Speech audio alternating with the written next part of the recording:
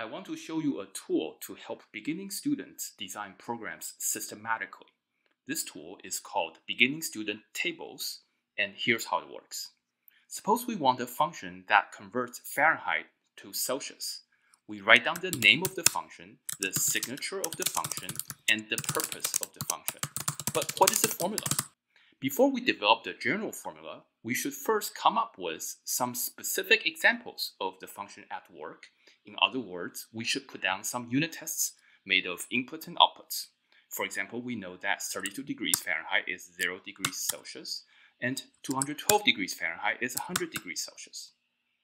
Looking at these examples, our first attempt at a general formula might be to take the input f and subtract 32. This works for the first example, but not the second. But we're getting close. We can take this intermediate result and divide it by 1.8. Now we've got it. The check marks show which results match the expected outputs we want on the right. Our goal is to make a column that has check marks all the way down. We can add more examples to take our formula and test it further. By the way, this tool is on the web, so you could try it out yourself. Just to give you some context, when our students encounter this tool, they might be complete newcomers to computer science, but they have already been exposed to the syntax of a minimal programming language in which all function application is notated prefix using parentheses. We also introduce our students to a step-by-step -step process of program design where before they define a function, we require them to write down the signature of the function, the purpose of the function, and some tests for the function. This required design process is reflected and enforced in the Beginning Student Tables tool, even though the way we currently teach our course uses a more conventional development environment most of the time.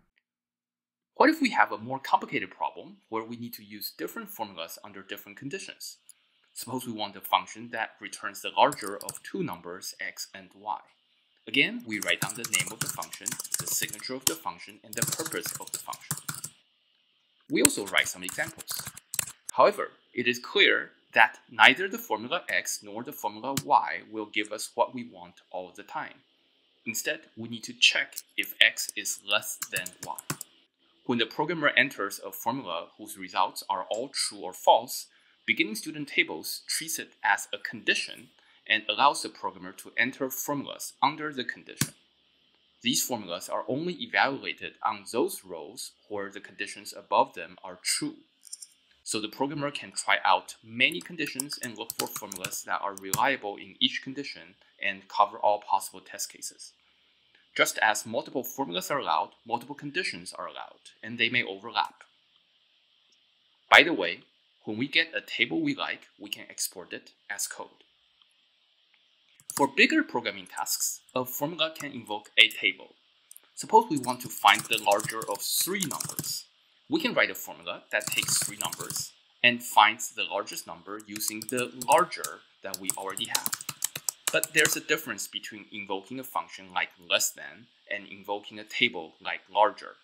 Invoking larger is merely looking up the inputs 1 and 2 in the table that we already have. So we have to add those inputs and specify the expected output. And again, for the outer call to larger. This behavior prompts the programmer to write enough tests for a helper function like larger, and also tells the programmer to trust the helper function larger even before its definition is finished. These ingredients together guide the programmer to design recursive functions. Suppose we want to compute the factorial of a natural number. Well, here are some examples. Now, because a natural number is either 0 or 1 plus another natural number, we know we probably want the conditions n equals 0 and n greater than 0. Moreover, if n greater than 0, then we probably want n minus 1 and its factorial.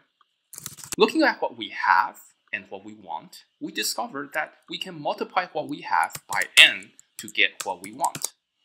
Note that again, invoking fact is merely looking up the input in the table.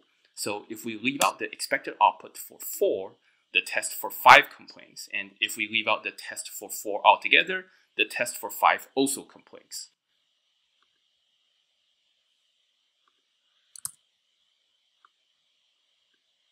We call this behavior pseudo recursion. This generalizes to mutual recursion where tables like even and odd invoke each other. Even though I've only shown numbers and booleans, we can also program with strings, like to concatenate them, images, like to animate them, and lists, like to sort them.